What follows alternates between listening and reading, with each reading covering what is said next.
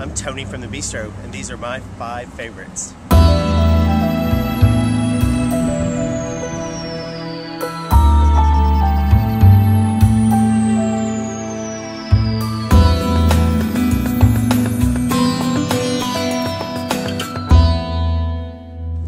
I am originally from Louisville. Um, I have family all over the state of Kentucky. Uh, my mom currently lives in Scottsville.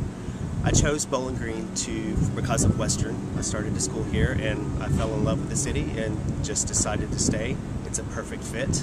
Uh, I can go home. It's a quick drive home and I love it. I have always been a big supporter of local businesses. I just think it's good for the economy. It's good for the neighborhood. Um, it's how small businesses survive. I was a small business owner myself for a while, and I totally understand.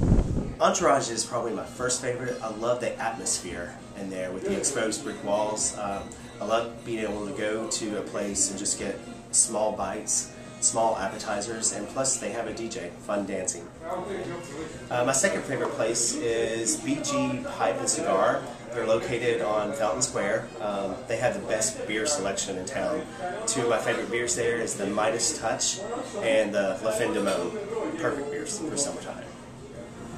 Uh, my third favorite place would be Greener Grounds. I love their coffee, all fair trade, and I love what they do for the animals, uh, especially dogs. Uh, they rescue a lot of pets. All their coffee is named after rescued animals. My fourth favorite place would be Corsairs Artisan Distillery.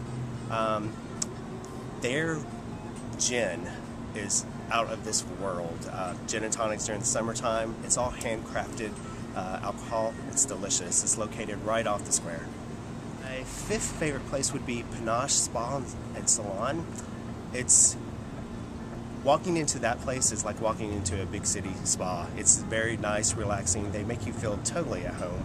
You're one of the family as soon as you walk in. My favorite stylist would be Marty. My hidden gem would be Grandma's Attic. That place is definitely a hidden gem. Uh, it's so inexpensive there. I've most of my candle holders come from there. My prized possession is a velvet Elvis that I got there. Love that place.